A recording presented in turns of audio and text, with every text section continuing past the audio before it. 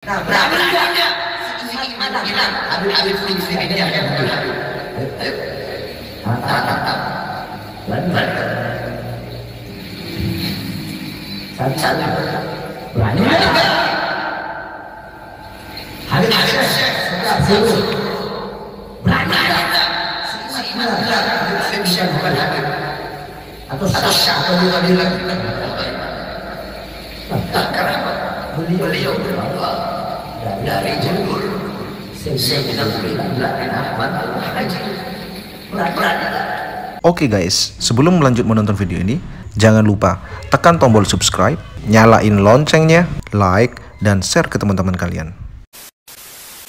Assalamualaikum warahmatullahi wabarakatuh dan salam sejahtera bagi kita semua.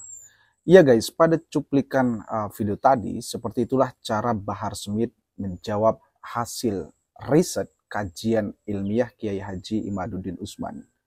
Di mana dia memberi tantangan kepada uh, Kiai Haji Imaduddin Usman, berani nggak Kiai Haji Imaduddin Usman mengatakan bahwa Habib Lutfi bukan keturunan Nabi dan berani nggak bahwa Habib Syekh bukanlah zuriyah Nabi.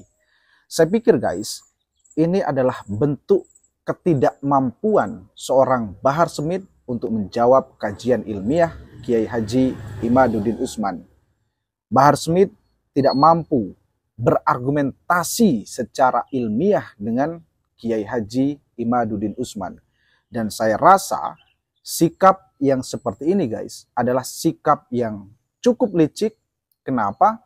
Karena di balik ketidakmampuannya berargumentasi secara ilmiah dengan Kiai Haji uh, Imaduddin Usman di saat yang bersamaan Bahar Smith seolah-olah sedang berupaya membenturkan antara adab dan akhlak dengan kajian ilmiah yang dilakukan oleh Kiai Haji Imaduddin Usman.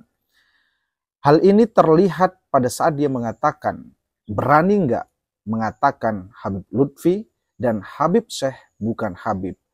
Padahal guys, ini konteksnya jelas sekali berbeda yang dilakukan oleh Kiai Haji Imaduddin Usman adalah kajian ilmiah dan semestinya Bahar Smith menjawab atau membantahnya pun seharusnya dengan cara-cara ilmiah juga. Itu pun kalau dia mampu bukan malah dengan cara membuat tantangan yang seperti itu guys. Karena ketika ada orang yang tidak mampu berdebat dan berargumen di ranah ilmiah, lalu kemudian orang tersebut membentur-benturkan dengan adab dan akhlak, maka sesungguhnya cara yang seperti itu adalah cara yang pernah digunakan oleh Fir'aun Inilah yang disampaikan oleh Kiai Haji Abbas Abdul Jamil Buntet. Dan seperti apa penjelasan lengkapnya? Yuk simak video berikut ini.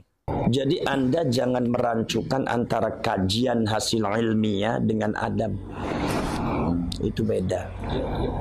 Kalau Imaduddin yang saya lihat itu kajian ilmiah.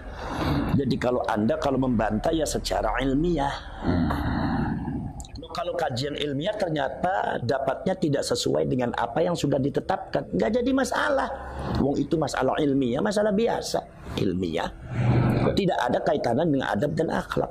Kalau Anda bicara masalah debat ilmiah, kemudian Anda kalah, kemudian Anda menggodamnya dengan adab dan akhlak. Ini sistem seperti ini yang dipakai oleh Fir'aun. Fir'aun itu pada waktu debat dengan Nabi Musa Ketika ditanya Musa kamu itu Tuhannya siapa? Kata Nabi Musa Tuhan saya yang bisa menghidupkan yang mematikan. Tuhan saya ada yang bisa menghidupkan mematikan. Kemudian tiba-tiba Fir'aun menghadirkan dua orang. Yang satunya dibunuh, yang satunya dihidupkan. Kata Fir'aun wa ana uhi wa umit. Saya juga menghidupkan tuh. Saya juga bisa mematikan. Artinya kalau memang Tuhan kamu adalah menghidupkan dan mematikan, saya juga bisa. Akhirnya kata-kata Nabi Musa apa? Tuhan saya adalah Tuhan yang bisa memindahkan matahari dari timur ke barat dan mendatangkan bulan. Ketika malam dan melenyapkan ketika ketika ketika siap. Tuhan saya Tuhan yang bisa menggeser matahari. Di situ Fir'aun lemah. Logikanya kalah. Debatnya kalah. Lah Fir'aun baru menggodapnya dengan apa? Ya dengan kayak tadi. Otoritas. Musa, ya. kamu tuh kurang ajar. Bukankah kamu telah diurus sama saya dari kecil? Kamu kan diurus sama saya dari kecil. Begitu besar kamu kurang ajar sama saya. Boro-boro kamu terima kasih. Lah, Fir'aun itu merancukan antara debat ilmiah ya dengan otoritas. Ini bukan bicara masalah otoritas Nabi Musa itu menghormati atau tidak. Tetapi ini adalah masalah ilmiah. Ketika Fir'aun tanya seperti itu, ya Nabi Musa jawab. Ketika Nabi Musa itu menang, memenangkan perdebatan itu, maka Fir'aun menggoda Nabi Musa dengan otoritas. Jadi itu caranya Fir'aun mengalahkan orang. Jangan, jangan seperti itu. Anda semua begini, seumpama saya urusan dengan santri saya, hmm. begitu urusan saya kalah. Saya bilang, kamu kurang ajar sama guru.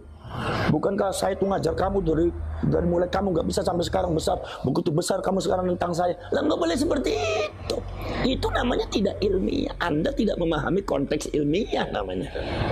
Nah, masalah kajian kayak Imaduddin kajian ilmiah dan itu sah-sah saja kajian masalah. Bukan berarti kayak Imaduddin kemudian tidak menghormati Abu Lutfi, Habib Ali, tidak menghormati Sahib Ratil Kubra, seumpama uh, Habib Abdullah bin Ali Al-Haddad atau para habaib yang lain ulama-ulama. Bukan, bukan masalah itu.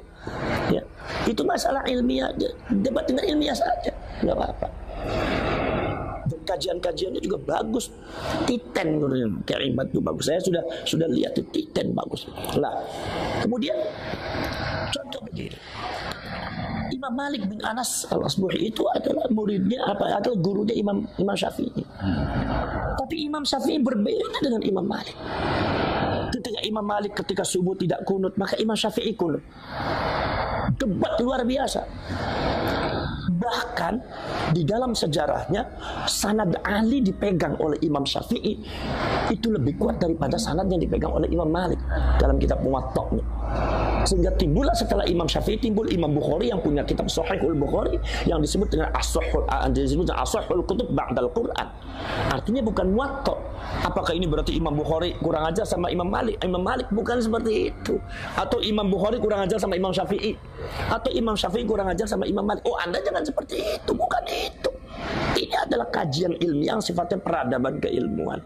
Ya, ilmu harus dinamis, harus maju, harus dinamis. Dan ini di Indonesia saya lihat fenomena yang bagus. Jangan dianggap negatif, ini justru bagus tuh. Dulu perdebatan semacam ini ada di Mesir. Sekarang Mesir mungkin sudah mulai apa namanya mulai mulai kendor. Sekarang di Indonesia bagus. Walaupun yang perdebatannya sangat luar biasa karena apa? Karena menyangkut implikasi dari hmm. ketika kayak Imad mengatakan seperti itu maka implikasinya membatalkan seluruh nasabnya para habaib. Itu kan begitu. Ya. Dan itu menurut saya nggak jadi masalah.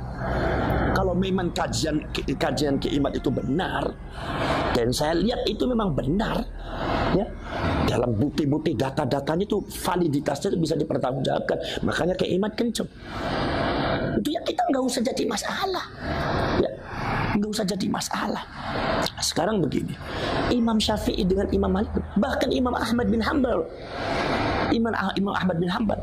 Disuruh ijtihad sama Imam Syafi'i. Ya Ahmad ijtihad. Ijtihad kamu Ahmad Ahmad. Bingung gimana saya harus berbeda pendapat dengan guru saya apakah sul adab atau tidak. Tapi Imam Syafi'i ijtihad Ahmad. Ijtihad. Jangan sama dengan saya. Akhirnya Imam Ahmad beristihad dengan sekuat tenaga. Barulah mendapatkan hukum-hukum yang berbeda dengan gurunya. Betapa luar biasa Imam Ahmad. Apakah Imam Ahmad itu kemudian ketika mengatakan Imam Syafi'i dalam hal ini guru saya salah? Apa kurang apa itu kurang ajar? Enggak apa itu sul adab oh tidak. Itu hal ilmiah. Seperti masalah tayamum bagaimana Imam Malik dengan Imam Syafi'i berbeda. Bahwasanya kata Imam Syafi'i Imam Malik itu karena riwayatnya belum banyak datang di Imam Malik tuh. Riwayat masalah tayamum itu datang banyak lengkap ketika saya datang. Ketika ketika saya ada. Saya mencari data-data tentang masalah tayamum ternyata seperti ini. Berbeda dengan Imam Malik. Berbeda pada waktu di guru saya ini guru saya belum lengkap ini hadisnya. Itu bukan berarti Imam Syafi'i itu apa namanya soal adab terhadap Imam Malik bukan jangan dimaknai seperti itu. Ini bicara masalah agama. Ini bicara masalah konteks ilmiah. Jadi kalau anda bantah, bantah saja secara ilmiah. Nggak usah dengan pakai narasi kebencian, kemudian juga dengan pakai podcast-podcast yang nggak benar. Anda datang ke keimat, katakan debat ilmiah. Saksinya mana?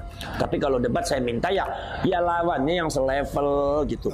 Kalau lawannya ya Allah, yang lawannya yang datang ada yang dari Lampung itu, Oh iya. atau yang dari Umar katanya. apalagi sumama yang lawannya itu sumama Bahar bin Smith itu. Ya itu ya bukan levelnya keimat mohon maaf.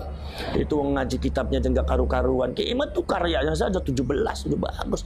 Ini saya nih saya yang alhamdulillah saya juga sudah menyelesaikan S3 tahun 2009 itu. Saya tahu persis beliau orang pintar dan ilmiah sekali. Jadi lawannya jangan itu. Jadi lawannya bagaimana? Lawannya saya minta ke keimat kalau sumama diajak debat sama orang-orang yang kredibilitas keilmuannya tidak ada. Jangan mau buat apa? Debat dengan orang jahil. Ya omongannya nggak karuan akhirnya jadi fitnah. Namanya orang jahil kan ngomongnya kadang-kadang ker- keras kasar. Kadang nggak bagus. Sayang keimatnya sayang keilmuannya. Debatlah dengan orang yang kredibilitasnya terjamin. Minimal dengan robitoh alawiyah. Ulama-ulamanya. Kumpulkan debat di situ itu namanya ilmiah itu bagus. Kalau semua dekat dengan orang-orang yang ya Allah. Ya mohon maaf itu. Saya juga bisa membaca dari karakternya dari cara bicaranya. Ini orang nggak ilmiah ngapain juga keimat debat dengan orang semacam itu? Orang jahil nggak usah diladeni. Kalau orang jahil itu nggak usah itu. Nggak ada manfaatnya biarin aja. Di, di atas ada Allah subhanahu wa taala. Nggak usah di, nggak usah jadi pikiran dan jadi apa. Yang penting keimat tetap pada itu. Dan saya dukung ya perjuangannya keimat tuh kalau memang itu. Karena apa? Karena ini persoalannya bukan masalah persoalan keimat. Kalau anda mengatakan itu masalah keimat. Oh bukan. Anda salah paham itu sejak dulu sudah ada. Sudah ada Sejak zamannya abad ke-8 Imam Fakhruddin Ar-Razi sudah menyatakan bahwasanya Said Ahmad tidak memiliki orang yang bernama anak yang bernama Abdullah. Sehingga pada waktu abad ke-13 Syarif Aunur Manajer, ada klien udah nggak bisa minjem uang di mana-mana. Saat ini sedang mendaftar di isi cash kita. Rafiq penguasa Hijaz ketika itu dari Syarif, dari Syarif Al Hasani itu melarang kaum Ba'alwi memakai nama Sayyid dan Syarif. Kenapa melarang? Karena beliau raja. Itu berarti kan sebelumnya sudah ada kajian. Berarti kan sudah ada polemik dan itu karena itu sudah ada ketetapan. Satu nama selanjutnya yang terbaru di antara adalah salah satu nakib daripada Nakobatul Ashraf yang ada di Mesir. Itu salah seorang syarif yaitu Al Hasan itu juga mengatakan ada ibtalun nasab li ali Ba'alwi. Membatalkan nasab bagi keluarganya Ba'alwi dengan catatan-catatan secara ilmiah. Itu seorang nakib dia beliau seorang nasabah dari Nakobatul Ashraf yang ada di Mesir. Mengatakan bahwa itu nasabnya Ba'alwi kesimpulannya nasabnya Ba'alwi dari beberapa faktor-faktor yang sudah di saya jelaskan katanya.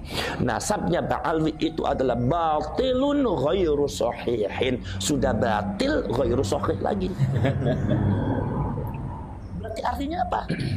Kalaupun ada perdebatan kalau ada perdebatan itu karena apa? Menurut mereka para nasabah yang ada di internasional, internasional khususnya Nakobatul Ashraf, semua baik ada di Irak ataupun ada di ada di Irak atau ada di Mesir, itu mengatakan bahwasanya adanya nasab nyambung Ba'alwi adalah klaim sepihak dari Ba'alwinya atau dari ulama-ulama yang ada hubungan emosional dengan Ba'al Ba'alwi ya seperti yang dikemukakan oleh Kiai Imaduddin. Memang itu ada benarnya karena yang berpendapat begitu bukan Kiai aja dulu gak ada. Saya juga waktu kecil sudah ada beberapa mbah saya dan dikasih tahu sama abah saya bahwasanya eh, Ba'alwi itu memang terputusnya di Abdullah dan Ubaidillah. Saya saja waktu muda udah tahu seperti itu. Dan sebelum viral masalah ini belum ada. Saya udah tahu Bapak. Itu sudah ada masalah. Jadi artinya ya Anda nggak usah debat dengan keemat, debat dengan semuanya.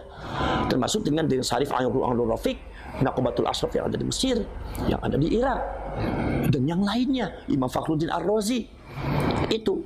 Jadi artinya ini masalah ilmiah dan menurut saya nggak jadi masalah mau nyambung atau tidak. Yang penting artinya ketika ilmiah itu dikemukakan itu Anda jangan bicara bahwa oh itu berarti kurang ajar sama ulama ini bukan. Namanya Abba Lutfi, namanya uh, Habib Ali Kuitang, apalagi ya kemudian uh, apa namanya uh, Habib Abdullah bin Ali Al Haddad sahibul ratib, kemudian seumpama para Habib Habib Umar bin Hafiz, ya, itu mereka adalah ulama-ulama besar. Itu mereka adalah waliullah, ulama besar, banyak muridnya sahibul karamah wal barakah. Tidak berkurang karamahnya walaupun semua nasabnya nggak nyambung juga. Walaupun menurut kajian ilmiah nasabnya nggak nyambung, itu tidak berkurang. Mereka tetap orang mulia, orang alim yang kita patut meminta barokahnya, meminta karomahnya, meminta apa namanya fuyudatul ilahiyah, yaitu anugerah-anugerah dari Allah Subhanahu Wa Taala. Karena kaum Ba'alwi ini kalau seumpama dari segi nasab itu tidak nyambung, itu menurut saya nggak usah jadi masalah. Karena kemuliaan kaum Ba'alwi itu bukan terletak pada itu saja. Kaum Ba'alwi itu saya lihat sejarahnya itu ternyata banyak minal mutasawwifin. Banyak kaum-kaum sufi. Maka roti-roti pun banyak tuh rotibul hatta, rotibul atas, rotibul sakrat. Itu semua dari kaum Ba'alwi semua. Dan banyak jadi orang alim dan banyak aulia, wali-wali. Habib Soleh Tanggul jadi wali Allah Habib Hussein kalau terus jadi wali. Banyak wali Allah itu jadi artinya tidak akan berkurang. Nah itu maka dari itu kita tetap menghormati Ba'alwi ulama-ulama yang alim nah tapi kalau ada oknum Ba'alwi yang kadang-kadang berbuat tanpa tidak ada sopan santunnya tidak ada akhlaknya baru itu kita harus dihentikan. Kalau nggak dihentikan ini bahaya Awas, Anda jangan macam-macam di sini. Karena Anda kisahnya betul. Kenapa? Karena dari Ba'al itu bukan uh, yang jadi masalah di Indonesia dan bukan ya, khususnya di Indonesia itu adalah bukan masalah nasab saja. Sejarah kedatangannya pun sudah bermasalah. Bagaimana Habib Utsman bin Yahya Mufti Betawi ya yang digaji oleh Belanda. Ya guys, itulah penjelasan lengkap dari seorang tokoh NU yaitu Kiai Haji Abbas. Dan atas fenomena ini guys, seperti yang dikatakan oleh Kiai Haji Abbas tadi bahwa fenomena ini sama sekali tidak ada kaitannya dengan eksistensi Habib Lutfi dan Habib Syekh seperti yang uh, dikatakan oleh uh, Bahar Smith. Karena terputus atau tidak nasab beliau kepada baginda Nabi Muhammad SAW, saya yakin tidak akan merubah sedikit pun kemuliaan beliau orang tetap akan menghormati dan tetap akan memuliakan Habib Lutfi dan Habib Syekh.